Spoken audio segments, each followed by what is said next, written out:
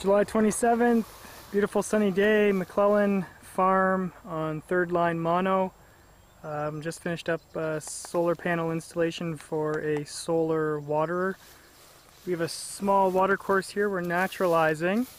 Here it is. And a small solar powered, direct solar powered pumping unit here. Submersible pump on a float. The big blue top end is the float itself. We've tethered it across the water, the, the water course, the stream couple T-bars on the end, float rope, water pipe coming up. Um, the cable itself is just two wire, uh, 12 gauge I believe, running to the solar panel directly. Solar panel is connected directly to it. We do have a float we will be putting on in a little bit. Um, but this time of year the sol solar panel almost sits perfectly flat um, this gives us maximum output. Right now I'm reading off of the panel under load 10.6 volts and the pump is working quite well. We'll go up to the trough and see the water pumping in just a minute.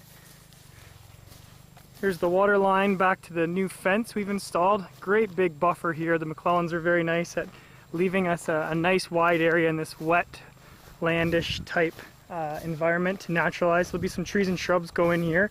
It'll be left to naturalize on its own installed a nice base for our trough. And there you can see the water's pumping right now. Um, so this is a variable speed motor or, or, pump itself. So the flow rate will speed up and slow down with the amount of voltage or sunshine hitting that panel.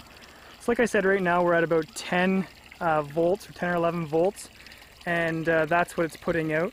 Um, the panel itself has the ability to put up to 17 volts uh, under load, so the flow rate will improve here quite a bit. We have a 160 gallon tank, and uh, that's what we're seeing for flow.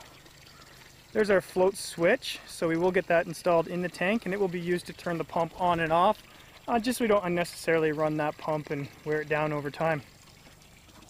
It's a shot looking back through the fence towards the watercourse. Nice spot.